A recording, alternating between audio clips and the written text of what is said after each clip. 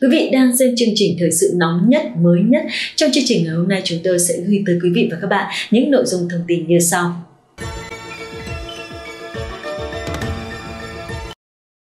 Quý vị và các bạn thân mến, chính thức từ ngày hôm qua, áp thấp nhiệt đới trên khu vực Bắc Biển Đông đã mạnh lên thành bão cơn bão số 1 năm 2022 và có tên quốc tế là Cha Ba. Thông tin mới nhất Cơn bão này đã giật lên cấp 13, sức gió mạnh nhất giật cấp 12. Trên đất liền Bắc Bộ cũng có mưa do ảnh hưởng gián tiếp từ bão. Hiện nay các tỉnh thành Đà Nẵng, Quảng Nam, Quảng Ngãi, Bình Định còn có tàu cá đang hoạt động trong vùng nguy hiểm của bão trong 24 giờ tới. Cụ thể, dự báo trong 24 giờ tới, bão sẽ di chuyển theo hướng Bắc Tây Bắc với tốc độ 10 đến 15 km/h và tiếp tục mạnh thêm. 1 đến 2 ngày sau đó, bão chủ yếu đi theo hướng Tây Bắc và có thể mạnh lên cấp 9, cấp 10, giật cấp 12. Vùng nguy hiểm trên Biển Đông trong 24 giờ tới là vĩ tuyến 15, 21 độ Vĩ Bắc, từ kinh tuyến 111,5 đến 116,5 độ Kinh Đông. Các tàu thuyền ở khu vực này cần nhanh chóng thoát khỏi vùng nguy hiểm. Nếu gặp sự cố, cần liên hệ ngay tới tần số 7903 km để được trợ giúp kịp thời. Trong 24 đến 48 giờ tiếp theo, bão di chuyển chủ yếu theo hướng Tây Bắc, mỗi giờ đi được khoảng 10 đến 15 km. Đến 7 giờ ngày 3 tháng 7, vị trí tâm bão ở vào khoảng 22,4 độ Vĩ Bắc, 109,1 độ Kinh Đông trên đất liền phía đông nam của tỉnh Quảng Tây, Trung Quốc, cách Quảng Ninh khoảng 150 km về phía đông đông bắc. Sức gió mạnh nhất vùng gần tâm bão mạnh cấp 8 tương đương 62 đến 74 km/h, giật cấp 10. Vùng nguy hiểm do bão trên Biển Đông trong 24 đến 48 giờ tới, gió mạnh từ cấp 6 trở lên, giật từ cấp 8 trở lên. Phía Bắc vị tuyến 18,0 độ Vĩ Bắc, từ kinh tuyến 106,0 đến 114,0 độ Kinh Đông. Toàn bộ tàu thuyền hoạt động trong vùng nguy hiểm đều có nguy cơ cao chịu tác động của gió giật mạnh và sóng lớn. Cấp độ rủi ro thiên tai cấp 3. Trong 48 giờ đến 72 giờ tiếp theo, bão di chuyển chủ yếu theo hướng Tây Bắc, mỗi giờ đi được khoảng 10 km và suy yếu thành áp thấp nhiệt đới. Đến 7 giờ ngày 4 tháng 7, vị trí tâm áp thấp nhiệt đới ở vào khoảng 23,6 độ Vĩ Bắc, 107,8 độ Kinh Đông, cách Quảng Ninh khoảng 210 km về phía Bắc. Sức gió mạnh nhất vùng gần tâm áp thấp nhiệt đới mạnh cấp 6, từ 339 đến 49 km một giờ, giật cấp 8. Trong 12 đến 96 giờ tiếp theo, áp thấp nhiệt đới di chuyển theo hướng Tây Bắc, mỗi giờ đi được khoảng 10 đến 15 km và có xu hướng suy yếu dần cảnh báo gió mạnh, sóng lớn trên biển chiều cường. Do ảnh hưởng của hoàn lưu bão trên khu vực Bắc Biển Đông, bao gồm vùng biển quần đảo Hoàng Sa có gió mạnh cấp 8, cấp 9, vùng gần tâm bão mạnh cấp 10, 11, giật cấp 14, sóng biển cao từ 5 đến 7 mét, biển động dữ dội. Khu vực ven biển các tỉnh Quảng Ninh đến Ninh Bình cần đề phòng sóng lớn kết hợp chiều cường gây ngập úng ở vùng trũng thấp. Trên vùng biển từ Bình Thuận đến Cà Mau, khu vực giữa và Nam Biển Đông, bao gồm vùng biển quần đảo Trường Sa, gió Tây Nam mạnh cấp 6, có lúc cấp 7, giật cấp 8, cấp 9, sóng biển cao từ 2 đến 4 mét, biển động mạnh tin mới nhất của Ban Chỉ đạo Quốc gia về phòng chống thiên tai, Ủy ban Quốc gia ứng phó sự cố thiên tai và tìm kiếm cứu nạn ban hành công điện số 18 chỉ đạo quốc gia gửi Chủ tịch Ủy ban Nhân dân, trưởng ban chỉ huy 4 tỉnh, thành phố Đà Nẵng, Quảng Nam, Quảng Ngãi, Bình Định khi có tàu thuyền hoạt động trong vùng nguy hiểm.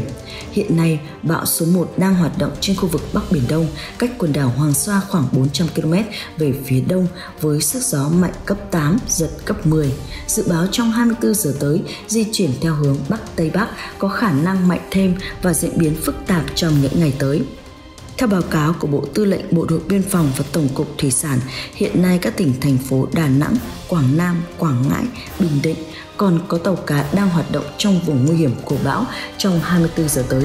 Để đảm bảo an toàn tàu thuyền, tránh thiệt hại đáng tiếc, Ban chỉ đạo quốc gia về phòng chống thiên tai đề nghị Chủ tịch Ủy ban nhân dân, trưởng Ban chỉ huy phòng chống thiên tai và tìm kiếm cứu nạn các tỉnh, thành phố khẩn trương chỉ đạo triển khai một số nội dung sau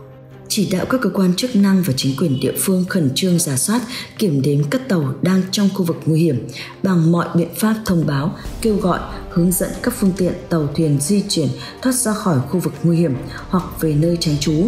Báo cáo công tác triển khai và kết quả thực hiện từ ban chỉ đạo trước 6 giờ 30 phút và 17 giờ hàng ngày để tổng hợp báo cáo Phó Thủ tướng Chính phủ trưởng ban đề nghị Chủ tịch Ủy ban nhân dân, trưởng ban chỉ huy phòng chống thiên tai và tìm kiếm cứu nạn các tỉnh thành phố quan tâm chỉ đạo thực hiện. Văn phòng Thường trực Ban Chỉ đạo Quốc gia về phòng chống thiên tai, Văn phòng Ủy ban Quốc gia ứng phó sự cố thiên tai và tìm kiếm cứu nạn yêu cầu Ban Chỉ huy phòng chống thiên tai và tìm kiếm cứu nạn các tỉnh, thành phố, các bộ, ngành chỉ đạo triển khai thực hiện một số nội dung sau. Thứ nhất, theo dõi chặt chẽ diễn biến của áp thấp nhiệt đới, thông báo cho các chủ phương tiện, thuyền trưởng, các tàu thuyền đang hoạt động trên biển biết vị trí, hướng di chuyển, diễn biến của áp thấp nhiệt đới để chủ động phòng tránh thoát ra hoặc không di chuyển vào khu vực nguy hiểm. Thứ hai, tổ chức theo dõi, kiểm đếm tàu thuyền đã hoạt động trong khu vực ảnh hưởng của áp thấp nhiệt đới, giữ thông tin liên lạc thường xuyên với các chủ phương tiện để xử lý kịp thời các tình huống xấu có thể xảy ra quản lý chặt chẽ các phương tiện ra khơi, kiểm tra, hướng dẫn neo đậu tàu thuyền tại bến. Thứ ba, sẵn sàng lực lượng phương tiện cứu hộ cứu nạn để kịp thời xử lý khi có tình huống. Thứ tư, Bộ Tài nguyên và Môi trường tổ chức theo dõi chặt chẽ dự báo, cảnh báo, thông tin kịp thời về diễn biến của áp thấp nhiệt đới để chủ động triển khai các biện pháp ứng phó, Thứ năm, Bộ Ngoại giao liên hệ với các quốc gia trong khu vực đề nghị tạo điều kiện cho ngư dân và tàu cá vào tránh trú và hỗ trợ cứu nạn, cứu hộ khi có yêu cầu. Thứ sáu, các bộ ngành theo chức năng nhiệm vụ được giao chỉ đạo các biện pháp sẵn sàng ứng phó khi có tình huống xấu xảy ra. Thứ bảy, Đài truyền hình Việt Nam, Đài tiếng nói Việt Nam, các cơ quan thông tin đại chúng ở trung ương và địa phương tăng cường thông tin truyền thông và diễn biến áp thấp nhiệt đới và công tác chỉ đạo ứng phó khắc phục hậu quả Thứ 8, tổ chức trực ban nghiêm túc, thường xuyên báo cáo về văn phòng thường trực Ban chỉ đạo quốc gia về phòng chống thiên tai và văn phòng Ủy ban quốc gia ứng phó sự cố, thiên tai và tìm kiếm cứu nạn. Ngoài ra, bù lại mưa xuống giúp cho bầu không khí trở nên rất mát mẻ, nền nhiệt cao nhất vào ngày mai ở thủ đô Hà Nội ở hầu khắp các tỉnh thành khá dễ chịu là từ 27 đến 32 độ C. Vừa rồi là những thông tin đáng chú ý và tình hình diễn biến của ảnh hưởng cơn bão Chaba Chúng tôi sẽ còn trở lại ở phần sau với những dự báo chi tiết hơn về diễn biến thời tiết ở các tỉnh thành Bắc Bộ, Trung Bộ, Tây Nguyên và Nam Bộ. Bắc Bộ, theo Trung tâm Dự báo Khí tượng Thủy văn Quốc gia, từ ngày hôm nay đến ngày mai, các tỉnh Bắc Bộ thời tiết mát mẻ, ban ngày có lúc hửng nắng, chiều tối đến đêm có mưa rào và rông rải rác cục bộ, có nơi mưa vừa, mưa to từ đêm nay ngày mai mùng 2 tháng 7 đến ngày mùng 3 tháng 7 do ảnh hưởng của hoàn lưu bão số 1 mở rộng tại miền Bắc diễn biến phức tạp, riêng các tỉnh phía Đông Bắc Bộ có mưa vừa, mưa to đến rất to. Cơ quan khí tượng cảnh báo từ đêm ngày mai mùng 2 tháng 7 đến ngày mùng 7 tháng 7, Bắc Bộ có khả năng xuất hiện một đợt mưa lớn diện rộng. Trong mưa rông có khả năng xảy ra lốc, xét, mưa đá và gió giật mạnh. Nguy cơ cao dẫn đến xảy ra lũ quét, sạt lở đất tại các tỉnh vùng núi Bắc Bộ và ngập úng tại khu vực trũng thấp. Tây Nguyên, Nam Bộ mưa nhiều về chiều, trong khi miền Trung giảm nắng nóng thì ở Tây Nguyên và Nam Bộ có xu hướng gia tăng. Tây Nguyên, Nam Bộ mưa rông, Cụ thể thời tiết miền Nam mây thay đổi đến nhiều mây, ngày nắng gián đoạn, trưa chiều và tối có mưa rào, nhiều nơi có nơi mưa vừa, mưa to kèm rông. Trong cơn mưa rông đề phòng lốc, xét và gió giật mạnh. Từ ngày mùng 4 đến ngày mùng 5 tháng 7, mưa giảm, khu vực chỉ còn mưa rào. Áp thấp nhiệt đới trên Biển Đông tương tác với gió Tây Nam mạnh đang là hình thế gây mưa nhiều cho Tây Nguyên, Nam Bộ, Ngoài ra do ảnh hưởng của bão nên gió Tây Nam trên vùng biển phía đông của Nam Bộ duy trì cường độ mạnh cấp 6, giật cấp 7, cấp 8, sóng cao từ 2 đến 4 mét. Từ ngày mùng 3 tháng 7 có xu hướng giảm dần xuống mức cấp 5, giật trên cấp 5. Vì vậy, những ngày đầu tháng thời tiết diễn biến rất xấu, có mưa rào và rông, đề phòng vòi rồng và lốc xoáy. Dự báo đến chiều tối ngày 1 tháng 7, mưa vẫn xảy ra trên diện rộng. Khu vực miền Đông Nam Bộ, gồm thành phố Hồ Chí Minh sẽ có mưa to đến rất to, lượng mưa có thể vượt 50 mm trong vòng 1 đến 2 tiếng. Cơ quan khí tượng cảnh báo đề phòng ngập tại các khu vực trũng thấp ven sông rạch. Tuy nhiên, mưa nhiều tập trung về chiều, còn buổi sáng đến trưa thì trời vẫn có nắng, nhiệt độ ở thành phố Hồ Chí Minh và các nơi khác của Nam Bộ trong khoảng 30 đến 33 độ C đề phòng ngập úng. Ngoài nguy cơ cao xảy ra lốc, xét, gió giật mạnh trong cơn rông, mưa nhiều trong thời gian ngắn như vậy còn dễ gây ngập úng các tuyến đường trũng thấp. Các đô thị khi thấy đường ngập thì quý vị hãy lựa chọn tuyến đường khác hoặc là chờ nước rút hạng đi qua để đảm bảo an toàn. Trung Bộ giảm nắng nóng, với miền Bắc Trung Bộ cũng có mưa nên giảm nắng nóng, nhiệt độ cao nhất chỉ có 30 đến 32 độ C. Các nơi khác trời vẫn chủ đạo tạnh giáo, có nắng trong ngày, nhiệt độ ở mức vừa phải 32 đến 34 độ C. Khu vực này chiều tối và đêm có mưa rào và rông, ngày nắng có nơi nắng nóng. Thời tiết biển, trên biển do ảnh hưởng của bão Chaba, huyện đảo Hoàng Sa có mưa bão, gió cấp 6, cấp 7, vùng gần tâm bão mạnh cấp 9, giật cấp 11, biển động mạnh. Vùng biển quanh huyện đảo Trường Sa cũng cảnh báo mưa rông, lốc xoáy, gió cấp 6, giật cấp 7, biển động.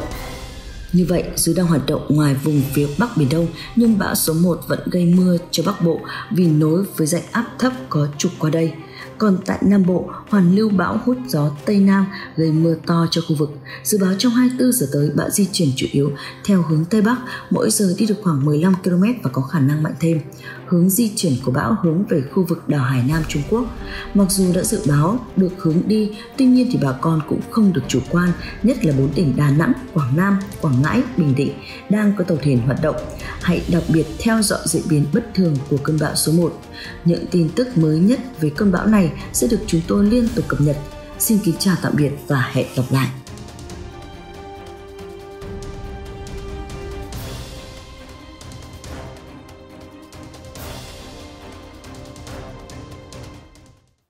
Những thông tin vừa rồi cũng đã khép lại bản tin của chúng tôi ngày hôm nay. Cảm ơn quý vị và các bạn đã quan tâm theo dõi. Xin kính chào và hẹn gặp lại.